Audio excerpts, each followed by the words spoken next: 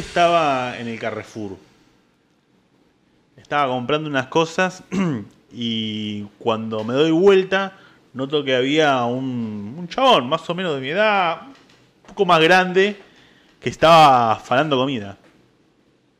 Se iba metiendo como medio así acá, entre las. Entre el buzo y, y el brazo, ¿viste? Y, En y algunos góndola. bolsillos, claro. En medio de las góndolas. En medio de las góndolas. Yo, obviamente, hice la mía, me fui.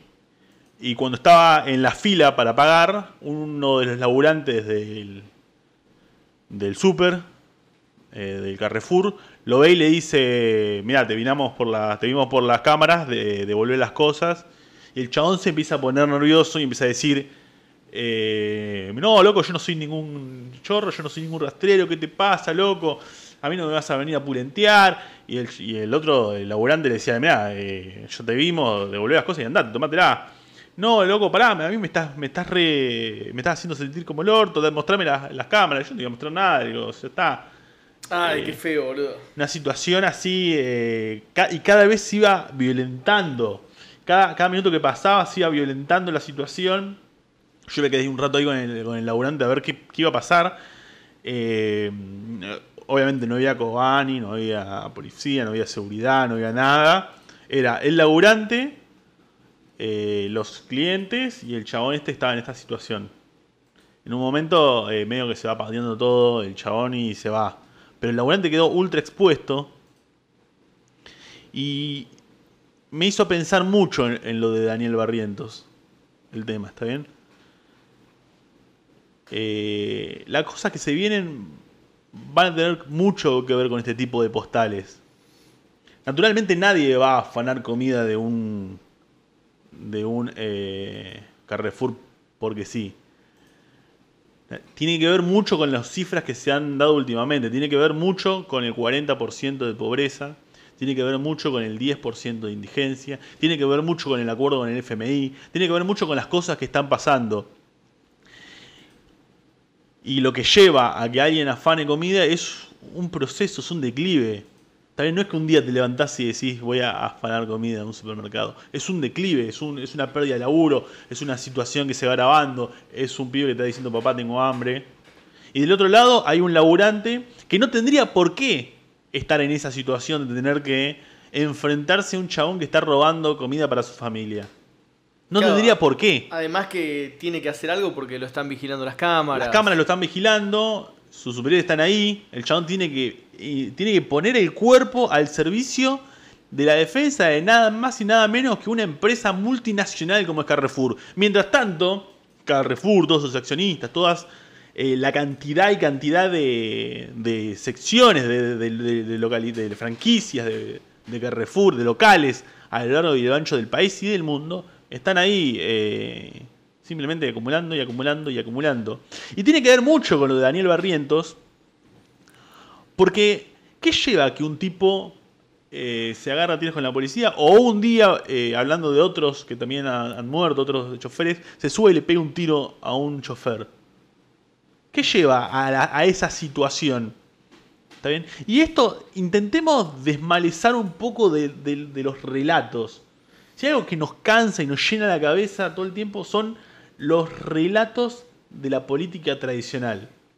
Eh, De un lado dicen mano dura, hay que meter bala, esto es un gobierno que se alía con los delincuentes.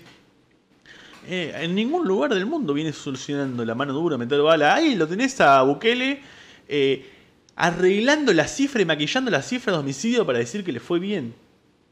¿Está bien? Y Bukele, que, o sea, si hay alguien que metió mano dura, Bukele hay un estado de excepción. Se eliminan parte de las garantías constitucionales en El Salvador para poder hacer lo que Bukele quiera. Y Bueno, embargo, Burri, cuando le contaron lo de la cárcel, dijo, me sacaron la idea de, de la cabeza prácticamente. Bueno, ahí, o sea, tienen que, eh, llevado el extremo a ese nivel, tienen que maquillar la cifra de muertos. Pero Burri también podría ser. Los dos igual dijeron. Los dos que estaban a favor de Bukele. Eh, le sacaron eh, la garantía constitucional a la gente para llegar hasta el final la mano dura y tienen que maquillar eh, la cifra de muertos para decir que le fue bien, porque no le fue bien. Y del otro lado es, no, esto es una cosa orquestada por la derecha, porque el chabón que aparece en el fondo de un spot eh, de Bullrich y en realidad salió el gato a decir, le tiraron un muerto a Bernie. O sea, de repente la víctima era Bernie. Un tipo que como acabamos de escuchar en el, eh, en el programa de la chispa, el antiguo podcast que hacíamos, se caracterizó por infiltrarse en luchas de trabajadores para destruirlas desde adentro. También un tipo que eh, conoce a la organización obrera porque siempre está enfrente. Yo me acuerdo de cuando fueron las represiones a las grandes huelgas en el en 2014. la automotriz. Claro. Era el responsable de, de ir a los piquetes, de garantizar la represión. Me acuerdo también un discurso de Cristina que decía, algunos siguen soñando con la toma del Palacio de Invierno, en relación a esas, a esas tomas de fábrica que, que se habían dado, ¿no? Una, Exacto. una pequeña toma del puente de Grúa. Eh, y decía, ¡pum! aparece Bernie. Hay un corte en la Panamericana, ¡pum! aparece Super Bernie, decía Cristina. Aparecía en el, en el- en el helicóptero, todo un montaje. Y bueno, y un poco esto, desmalezando la situación. O sea, ni siquiera valorando qué lleva a alguien a, a una situación de, de deterioro y de, y de putrefacción social tal para subirle y pegarle un tiro a un tipo. ¿Está bien? Bueno, hay años y años y años de pérdida de diferentes gobiernos eh, en los que se ha perdido poder adquisitivo, se ha aumentado la precarización laboral, eh, se ha aumentado los niveles de pobreza, se ha aumentado los niveles de indigencia, fundamentalmente mucho desde el 2018 hasta esta altura. Ahora, eh, cuando en Toyota se aumentan los ritmos de producción, cuando en las fábricas se aumentan la cantidad de horas, cuando se deterioran las condiciones de trabajo, cuando te hacen laburar un montón de horas y se, y se cuando se echan gente, cuando se dejan que las fábricas cierren y se vayan a otros lugares, cuando, sus- cuando se deja que el Estado mismo te negree, toda esa cantidad de deterioro del trabajo, de expulsión de personas del sistema laboral, ¿También? Lo que hace es generar un resentimiento eh, en personas que están cada vez más expulsadas de- del ámbito de la producción y el consumo. Y todo el tiempo se les pide a esa gente que pongan la otra mejilla. No, levantate a las 5 de la mañana y andá a cartonear. Enfrentate al desinterés de todo el mundo. No, eh, eh, laburar limpiando la casa de eh, los que pueden pagarte.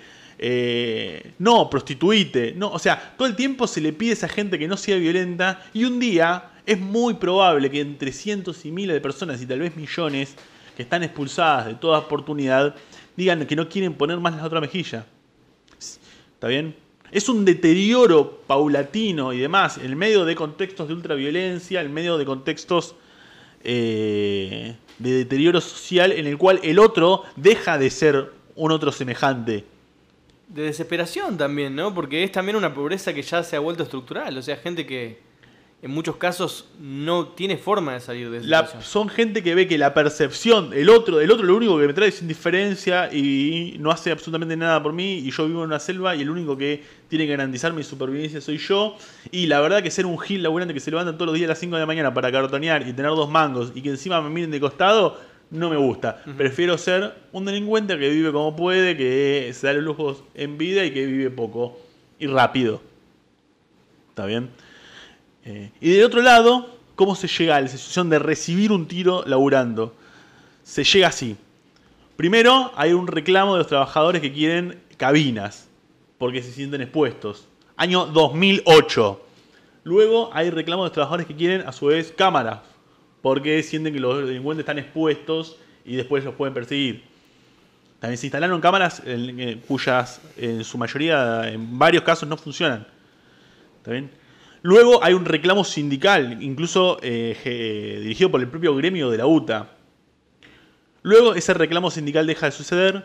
Luego hay cantidad de empresas, como la que eh, dueña de la 620, la empresa en la que trabajaba Daniel Barrientos y que tenía, le faltaba un mes para jubilarse, que se come la guita de los subsidios del Estado y no pone eh, las cabinas y no pone las cámaras y no acondiciona los y no acondiciona eh, los colectivos para la seguridad. Es más, es denunciada por la propia Dota, por, una, por la otra empresa que también es negrera, que también eh, firmó junto a la UTA eh, paritarias a la baja para los trabajadores y que también se comió un paro terrible hace un par de semanas nada más.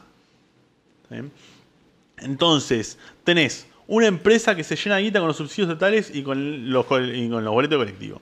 Tenés una burocracia que arregla con la empresa. Y tenés un gobierno que es parte de todo este armado y que en ningún momento, incluso teniendo las denuncias de otros mismos empresarios, no hace absolutamente nada. Tenés todo un entramado de complicidad y de desidia estatal y muy probablemente negociados que construyen la situación para que venga un tiro un chabón con el otro relato que acabo de, plantear y le mete un tiro. ¿Está bien? Entonces, en esa situación estalla la bronca popular. Y es la bronca popular, los chabones que cagan a piña a Bernie, cagan a piña a Bernie, por, en sí mismo a Bernie, y a su vez cagan a piñas al problema de los relatos. La gente está podrida de los relatos políticos que no traen soluciones. ¿Está bien? Y nadie es pelotudo. O sea, eh, hay gente, hay políticos que piensan que el pueblo trabajador argentino es pelotudo. Pero se dan cuenta que no, se dan cuenta que el tipo bajando en el helicóptero, haciéndose el rambo. O sea, la gente no quiere tener más que ver nada con el político con botas en las inundaciones, con el tipo que. La gente empatizó completamente con la piña. Exacto. Eso es un Yo estaba en laburo y fue un estallido de gente parándose en las redacciones y diciendo, aplaudiendo, todos mirando. Claro, tenemos... Esa es una buena lectura política que se hace de los memes. Cuando todos los memes van para un lado, significa que la gente empatizó con eso. Porque por algo no, no hubo memes en defensa de Bernie. En otros casos había memes en defensa de Bernie. Exacto. Cuando planteaba mano dura, qué sé yo. ¿Viste? Que te, lo hacían. Cuando se habla eh, del odio a la política y a la antipolítica, también tiene que ver con el odio al discurso vacío de realidad. A los que nos tienen completamente acostumbrados a que se hable, se hable, se hable, con mucho eslogan y, y muy bonito y con y con soluciones aparentemente para todo, y después todo siempre cada vez peor. Eh, y entonces entendieron que la presencia de Bernie ahí no iba a solucionar nada y que era un elemento más del relato y se pudrieron. Y en esa situación se inscribe las detenciones a los dos colectiveros. Es interesante, ¿está eh, es un operativo conjunto entre la bonaerense y la federal, así que ahí no, de la policía de la ciudad, así que ahí no vamos a hablar de grieta ni nada de eso, es la reacción absoluta del Estado cuando vos pones en cuestión quién tiene, quién, tiene la manija, quién tiene la fuerza. Los trabajadores, al cagarlo trompada a Bernie, pusieron en cuestión la representación estatal. La, institucionalidad eh, política de Estado. Por izquierda. O sea, desde abajo. Y no se lo, no se lo eh, perdonaron y actuaron con una actuaron con una implacabilidad. O sea, ¿vieron los, lo, que fueron los operativos?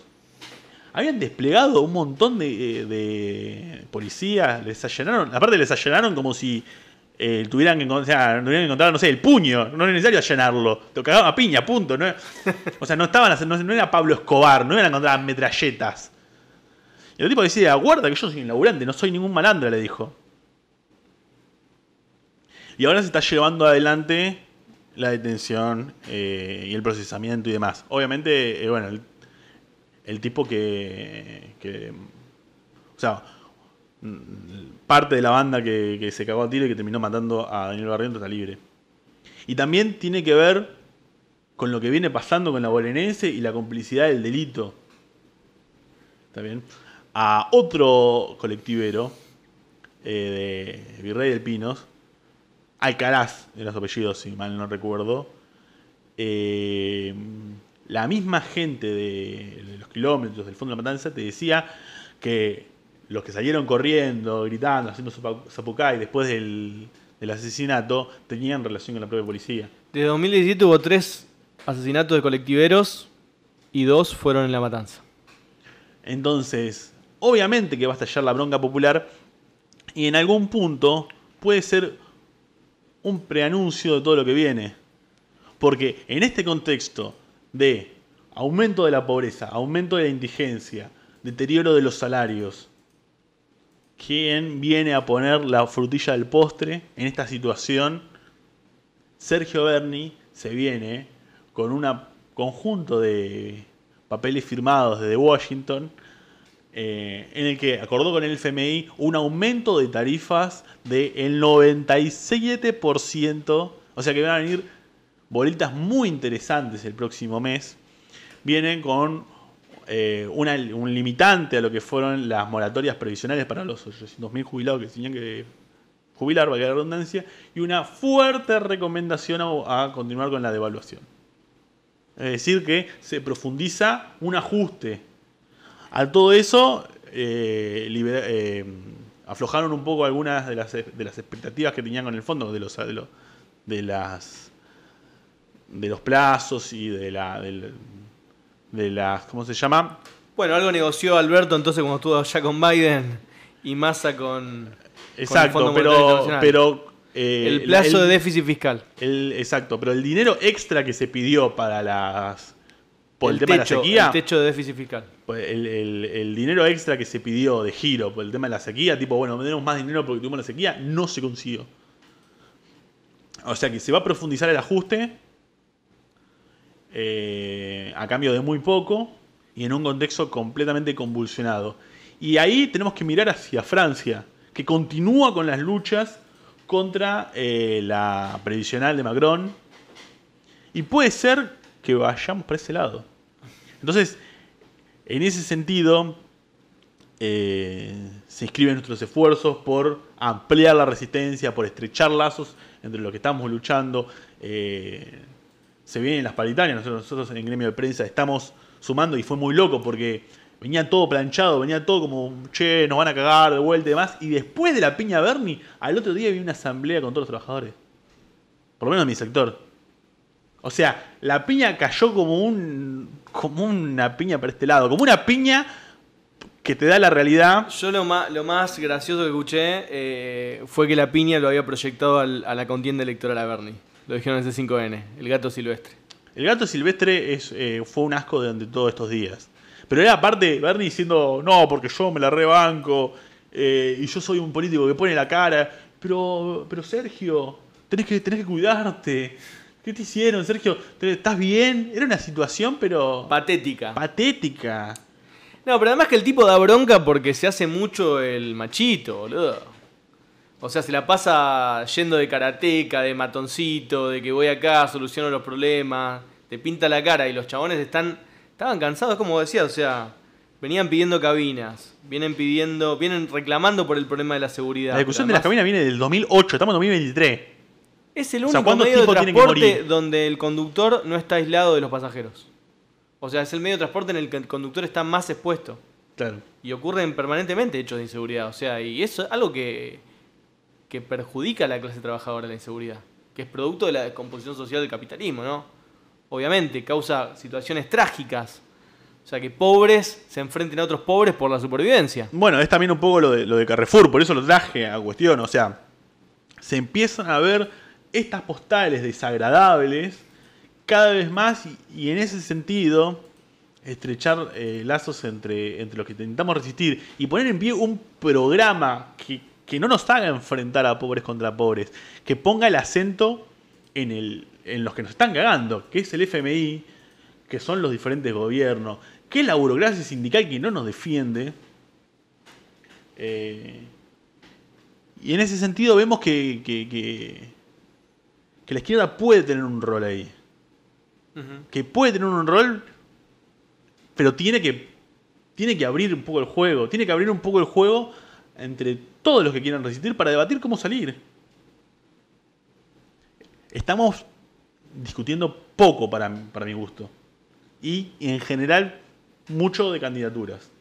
Me parece que este es- me parece que el momento nos requiere otra, otra lectura y tenemos que poder llamar a instancias más generales para discutir entre, entre nosotros y abrir el juego a, por ejemplo, los colectiveros, por ejemplo, los docentes que están saliendo a luchar, por ejemplo, eh, todos los trabajadores que están en paritaria. Eh, y en ese sentido, me parece que el gobierno, la, la campaña que está llevando el gobierno diciendo que es todo orquestado por la derecha, etcétera, etcétera, y que le quisieron tirar un, un muerto a un muerto a Bernie y demás, está cayendo muy mal. Es un muy mal momento. Aparte que está todo el gobierno aliado, desde el kirchnerismo y demás. Eh, Kicillof, Bernie, Aníbal Fernández, salieron a decir todo lo mismo. y es pésimo. Eh, y en algún punto hay un problema que hay que discutir para los de abajo, en el que tanto la izquierda como el kirchnerismo estamos igualados, que es que probablemente ninguno de los dos podamos dar una salida electoral. O sea, el kirchnerismo mismo no se cree que pueda ganar las elecciones. Ninguno de los dos. Y bueno, eh, no solamente la salida electoral, tenemos que prepararnos para resistir. Así después gane masa, tipo, así gane una versión de derecha del peronismo. Tenemos que prepararnos eh, para resistir. Y el paro de los colectiveros, la lucha de los piqueteros, hubo un piquetazo nacional, ¿está bien? Eh, los eh, vecinos de Rosario enfrentando a los narcos en los barrios las luchas docentes, los estatales que están empezando a parar, ahí 12 de abril el paro de ATE, abona y fortalece una resistencia que va a enfrentarse a un gobierno más títere que nunca del FMI de enfrente. Así que bueno, a eso los convocamos, empezamos a hablar con más compañeros, estrechar lazos con otras organizaciones, así que vamos a estar invitándolos a muchas cosas que van a ir surgiendo en estos días.